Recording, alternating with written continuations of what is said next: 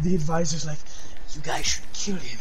Yeah, kill him. And then like, he, I feel like RK would be the one like, your advisor's trying to betray you.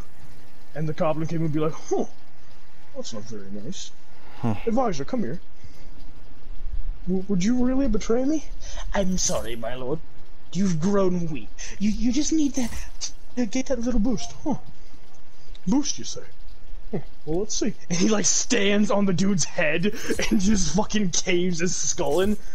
And he's like just like a few inches higher. He's like, huh, yeah. This is the boost I needed. This is really what I needed. You know what? You're right, advisor. Oh, he's dead.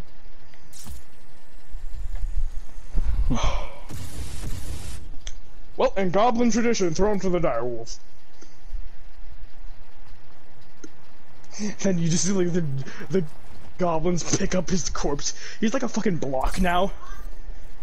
And then they walk over to the direwolves and it's like, easy direwolf, easy big guy. And then it like grabs both the block of meat and the guy. No, no, please.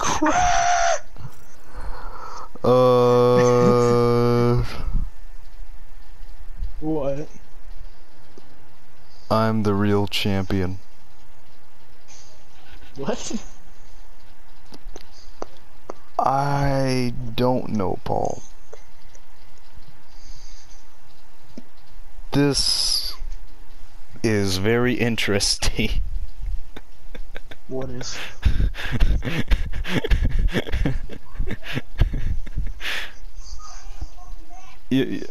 I'll have to show it to you in SHAREfactory, but holy crap. Okay, well I'm getting to the blimp, at least. All I can feel like that's gonna happen in the end, What or like the eventually. heck? I feel like eventually you guys are gonna do something that